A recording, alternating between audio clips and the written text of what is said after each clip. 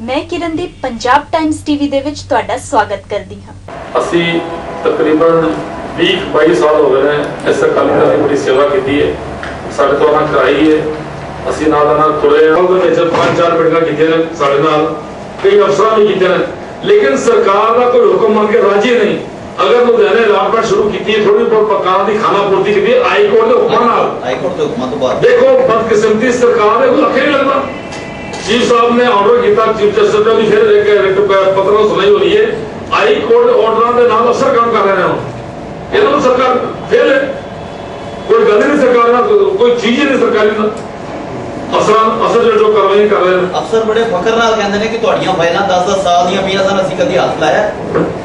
ਇਹ ਸਾਨੂੰ high court ਨੇ ਕੁਰਕੀ ਕਰ- ਦਿਖਾਈ ਹੈ ਤਾਂ ਅਸੀਂ ਇਹ ਕੰਮ ਸ਼ੁਰੂ ਕੀਤਾ। ਮਤਲਬ ਅਫਸਰਾਂ ਦੇ ਬਿਲਕੁਲ ਬੇਲਗਾਮ ਹੋਈ ਪਈ ਹੈ ਅਫਸਰ ਸਹੀ। ਅਫਸਰ ਦੰਗਾ ਪੀੜਤ ਦਾ ਨਾਂ ਆ ਜਾਵੇ, ਉਹਦਾ ਮੂੰਹ ਦਾ ਚਿਹਰੇ ਦਾ ਰੰਗ ਰੂਪ ਵੀ ਬਦਲ ਜਾਂਦਾ ਹੈ, ਜਦੋਂ ਅਸੀਂ ਕਹਿੰਦੇ ਆ ਮਤਲਬ ਇਤਨੀ ਫਿਰਕਾ ਪ੍ਰਸਤੀ ਇਹਨਾਂ ਦੇ ਵਿੱਚ ਬੜੀ ਹੋਈ ਹੈ ਕਿ ਵੀ ਇਹ ਕਿਸੇ ਤਰੀਕੇ ਨਾਲ ਸਾਡਾ ਕੰਮ ਕਰ ਵੀ ਰਾਜੀ ਨਹੀਂ ਆ। ਅਸੀਂ ਅਸੀਂ ਜਾਂਦੇ ਸੀ, ਜਾਂਦੇ ਰਵਾਂਗੇ ਪਰ ਜੋ ਅਕਾਲੀ ਸਰਕਾਰ ਨੇ ਸਾਨੂੰ ਪਿੰਡ ਪਿੰਡ ਜਾ ਕੇ ਗਲੀਆਂ ਗਲੀਆਂ ਵਿੱਚ ਫੇਰ ਕੇ ਕਈ ਵਾਰੀ ਕਾਂਗਰਸੀਆਂ ਨੇ ਸਾਡੇ ਤੇ ਪਥਰਾਓ ਕੀਤਾ, ਡਾਂਗਾ ਚੁੱਕੀਆਂ, ਸਾਨੂੰ ਗਾਲਾਂ ਕੱਢਿਆ ਕੱਢੀਆਂ ਮਾਰਾ ਚੰਗਾ ਕਿਹਾ। ਅਸੀਂ ਸਭ ਬਰਦਾਸ਼ਤ ਕੀਤਾ, ਅਸੀਂ ਉਹਨਾਂ ਦੇ ਖਿਲਾਫ ਜਾ ਕੇ ਧਰਨੇ ਦਿੰਦੇ ਰਹੇ, ਰੈਲੀਆਂ ਕਰਦੇ ਰਹੇ, ਇਲੈਕਸ਼ਨਾਂ ਵਿੱਚ ਉਹਨਾਂ ਦੀਆਂ ਵੋਟਾਂ ਤੋੜਦੇ ਰਹੇ। ਬੜੇ ਅਫਸੋਸ ਦੇ ਨਾਲ ਇਹ ਕਹਿਣਾ ਪੈਂਦਾ, ਅੱਜ ਬਾਦਲ ਸਾਹਿਬ ਨੂੰ ਬਾਦਲ ਸਾਹਿਬ, ਮੁੱਖ ਮੰਤਰੀ ਸਾਡਾ ਪਿਓ ਹੋਵੇ, ਅਕਾਲੀ ਦਲ ਦਾ ਪ੍ਰਧਾਨ ਸਰਦਾਰ ਸੁਖਬੀਰ ਸਿੰਘ ਬਾਦਲ ਬੈਠਾ ਹੋਵੇ, ਸਾਹਨੇਵਾਲ ਬੈਠਾ ਸੀ ਸੁਖਬੀਰ ਸਿੰਘ ਬਾਦਲ, ਜਦੋਂ ਸਾਡੀਆਂ ਬੀਬੀਆਂ ਦੇ ਲਾਠੀ ਚਾਰਜ ਹੋਇਆ। ਇੱਕ ਸਾਡੀ ਬੀਬੀ ਕੈਂਸਰ ਦੀ ਮਰੀਜ਼ ਸੀ। ਉਹਦੇ ਉਹ ਡਾਂਗਾ ਮਾਰੀਆਂ ਪੁਲਿਸ ਵਾਲਿਆਂ ਨੇ ਜਿਵੇਂ ਮੱਕੀ ਕੁੱਟੀ ਦਾ। ਮੈਂ ਪ੍ਰੈਸ ਵਾਲੇ ਵੀਰਾਂ ਨੂੰ ਉਦੋਂ ਵੀ ਉਹਦਾ ਸਰੀਰ ਦਿਖਾਇਆ, ਮੈਂ ਅੱਜ ਵੀ ਇਹ ਚੀਜ਼ ਦੱਸਣਾ ਚਾਹਨੀ ਆ ਕਿਉਂ ਤੁਸੀਂ ਭਰਾਵਾਂ ਨੇ ਸਾਡੀ ਆਵਾਜ਼ ਨੂੰ ਚੁੱਕਣਾ ਤੁਸੀਂ ਸਾਡੀ ਆਵਾਜ਼ ਅੱਗੇ ਲਿਜਾਣੀ ਆ। ਕੈਂਸਰ ਦੀ ਮਰੀਜ਼ ਹੋਵੇ, ਆਪਰੇਸ਼ਨ ਉਹਦਾ ਹੋਇਆ ਹੋਵੇ ਇੱਕ ਵਾਰ ਇੱਥੋਂ ਤੁਰ ਕੇ ਉੱਥੇ ਨਹੀਂ ਜਾ ਸਕਦੀ ਉਹ ਬੀਬੀ ਉਹਨੂੰ ਡਾਂਗਾ ਮਾਰ ਮਾਰ ਕੇ ਬੇਹੋਸ਼ ਕਰ ਦਿੱਤਾ। ਇੱਕ ਸਾਡਾ ਮੰਗਾ ਕੋਈ ਭਰਾ ਸੀਗਾ ਦੰਗਾ ਪੀੜਤ ਉੱਥੇ ਆਇਆ ਜਿਹਦੀਆਂ ਦੋਨੋਂ ਕਿਡਨੀਆਂ ਖਰਾਬ ਸਨ। ਉਹ ਕਿਡਨੀਆਂ ਖਰਾਬ ਬੰਦੇ ਨੂੰ ਡਾਂਗਾ ਮਾਰ ਮਾਰ ਕੇ ਉੱਥੇ ਤਿੰਨ ਵਾਰ ਪੁਲਿਸ ਨੇ ਬੇਹੋਸ਼ ਕੀਤਾ। ਤਿੰਨ ਫੋਟੋਆਂ ਮੇਰੇ ਕੋਲ ਪਈਆਂ ਉਹਨਾਂ ਦੀਆਂ।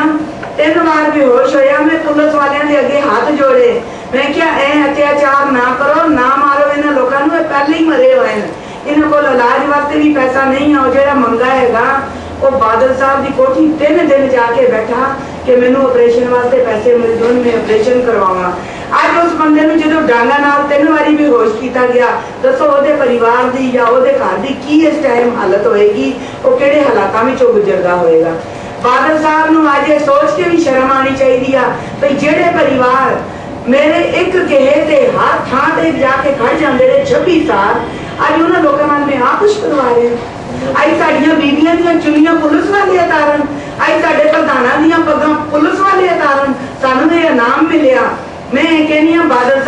26ਵੀਂ ਸਾਲ ਦੀ ਸੇਵਾ ਭਾਵਨਾ ਵਿੱਚ ਕੋਈ ਕਮੀ ਰਹਿ ਗਈ ਸੀ, ਸਾਨੂੰ ਘਰ ਬਿਠਾ ਕੇ ਕਹਿੰਦੇ ਕਿ ਤੁਹਾਡੀ ਸੇਵਾ ਵਿੱਚ ਇਹ ਕਮੀ ਰਹਿ ਗਈ ਸਾਨੂੰ ਘਰ ਬਿਠਾ ਕੇ ਕਹਿੰਦੇ ਤੁਹਾਡੇ ਫੈਸਲੇ ਵੀ ਨਹੀਂ ਲਾਗੂ ਕਰਨੇ, ਸਾਨੂੰ ਦੁੱਖ ਨਾ ਲੱਗਾ।